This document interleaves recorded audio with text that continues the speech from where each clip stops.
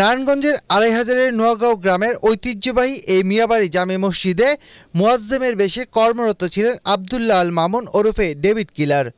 রোববার রাজধানী থেকে তাকে আটকের পরই তার দেয়া তথ্য মতে, নোয়াগাঁও এলাকায় জঙ্গি আস্তানায় রাতাই অভিযান চালায় কাউন্টার টেরোরিজম ইউনিট।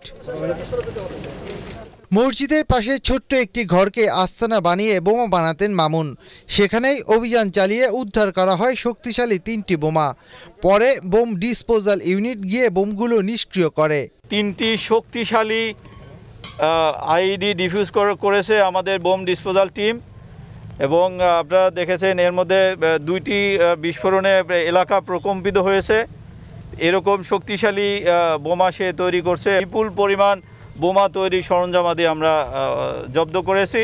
প্রথম অভিযানের পর মদনপুর এলাকায় আরও একটি অভিযান চালায় কাউন্টার টেরোরিজম ইউনিট।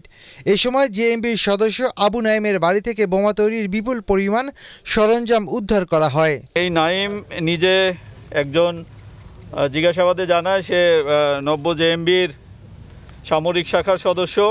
সে নিজে বোমা তৈরি করে এবং বোমা তৈরির একজন প্রশিক্ষকও বটে।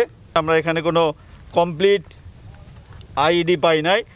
আমরা বোমা তৈরির সরঞ্জাম এবং চারটি রিমোট কন্ট্রোল আপনারা দেখতে পাচ্ছেন চারটি রিমোট কন্ট্রোল এবং বোমা তৈরির অন্যান্য সরঞ্জামাদি আমরা এখানে পেয়েছি।